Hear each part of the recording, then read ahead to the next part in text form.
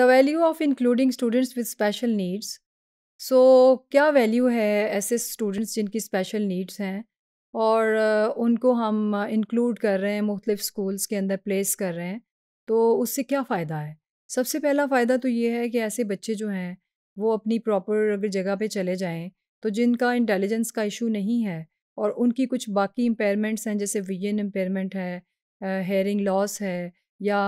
उनका जो है बिहेवियरल डिसऑर्डर्स हैं तो अगर प्रॉपर कोचिंग और काउंसलिंग ऐसे बच्चों को मिल जाए तो ये ना तो अप, अपनी अपने घर वालों के लिए बोझ होते हैं और ना ही सोसाइटी के लिए बोझ होते हैं। आ, मैं इसका एक छोटा सा आपके साथ अपना एक्सपीरियंस और ऑब्जर्वेशन शेयर करना चाहती हूँ कि मैंने स्पेशल स्कूल्स के साथ जो है वो थोड़ा सा काम किया और मैं वॉल्टरली एक स्कूल और एक दो स्कूल्स के साथ काम करती रही। मैं उनको जाके इस तरह की गाइडेंस और कोचिंग करती थी और किस तरह से हम आइडेंटिफाई करते थे बच्चे और किस तरह से हम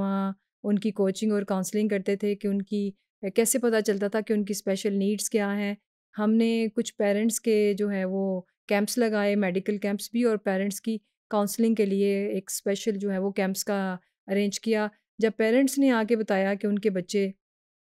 घरों में किस किस्म के प्रॉब्लम्स का शिकार हैं तो पेरेंट्स जो अनएजुकेटेड थे, उनको एजुकेट करना जो है, वो हमने वॉल्टरली बेसिस पे जो काम किया, वो उनको बताया और यकीन करें, वो स्टोरीज़ जब उन पेरेंट्स से मैंने सुनी तो मुझे एहसास हुआ कि हमारी सोसाइटी में इन बच्चों की इन स्पेशल नीड्स के बारे में एजुकेट करना सोसाइटी को कितना ज़रूरी है। क्योंकि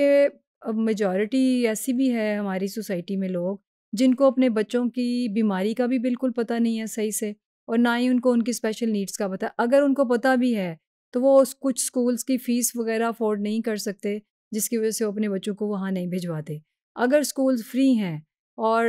वहाँ पे फ़ीस का इशू नहीं है तो पेरेंट्स के पास इतने पैसे भी नहीं होते बाज़ के, वो अपने बच्चों को कन्वेंस के जो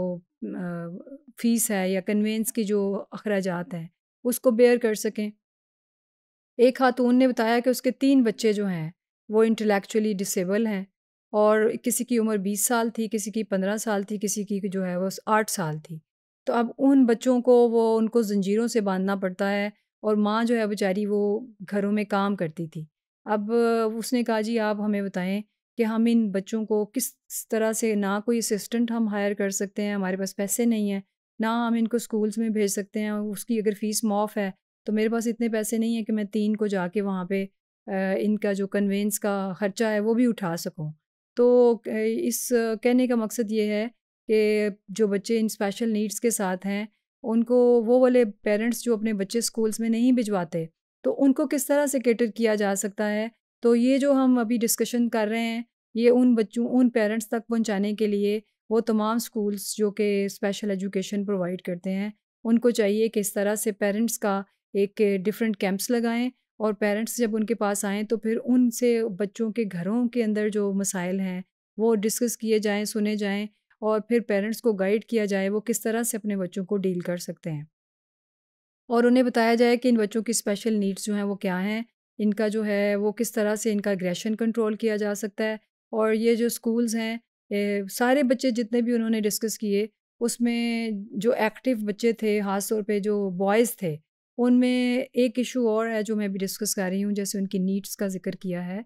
कि जब इनकी एज बढ़ती है और प्योबर्टी की एज में ये पहुँचते हैं, बारह साल, तेरह साल, चौदह साल की एज आती है तो जिस तरह प्योबर्टी जो है वो बाकी आम बच्चों को अफेक्ट करती है, इसी तरह इन बच्चों को भी अफेक्ट करती है। क्योंकि अगर ये मेंटली जो है वो पाँच साल पीछे हैं अपनी इंटेलेक्चुअल डिसेबिलिटी की वजह से तो फिर जैसे ही वो वाले पाँच साल इनके क्रॉस होते हैं तो ये प्योबर्टी की स्टेज जब आती है तो वैसे ही इनके अंदर बेचैनी और एग्रेशन आता है, जैसे कि बाकी आम बच्चों में आता है। अब इस इशू से डील करने के लिए भी पेरेंट्स की काउंसलिंग बड़ी ज़रूरी है, क्योंकि उनको तो नहीं पता, वो तो समझते हैं इस बच्चे का शुरू से ही मसला है, इस वजह से ये बच्चा इस तरह का एग्रेशन शो कर रहा है। लेकिन एक ख़ास एज में आके बच्चे ज़्यादा एग्रेशन का इजहार करते हैं, जब ये इस तरह की प्योबर्टी की स्टेज पे वो पहुँचते हैं तो। अब वहाँ पे जाके भी पेरेंट्स को बताना ज़रूरी है, कि वो कहते हैं, जी, ये तो हमें मारता है।